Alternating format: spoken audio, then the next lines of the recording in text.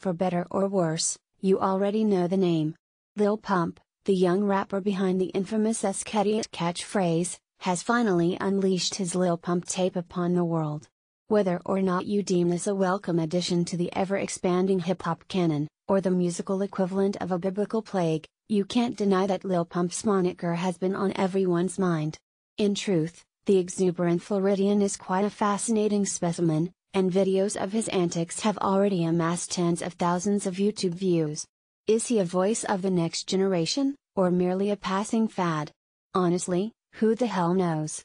If you haven't already heard his mixtape, it's everything you might have expected from Pump, magnified by a thousand. Brash, obnoxious turn up production, repetitive lyrics are all in abundance, so if that's your bag, what are you waiting for?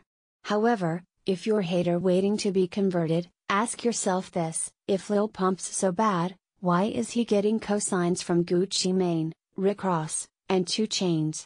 While you ponder that eternal conundrum, you might as well throw on Lil Pump and Gucci Mane's first ever collaboration Youngest Flexer. Generations collide as Lil Pump and Guwop go in over some banging, ignorant production.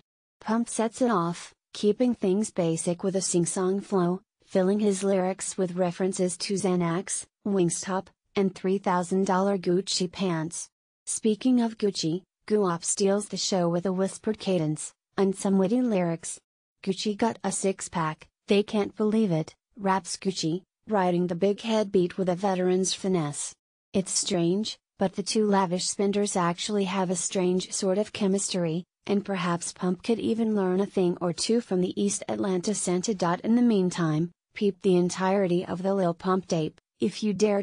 Quotable lyrics these haters think they can keep up, man, they can't believe it. Gucci got a six pack, they can't believe it but hey, lil bitch, here's three stacks. Let's have a threesome. I wanna own it outright, don't wanna lease it. He wanna be Guwop so bad that he talking greasy. She wanna be with WAP so bad that she fucked the DJ,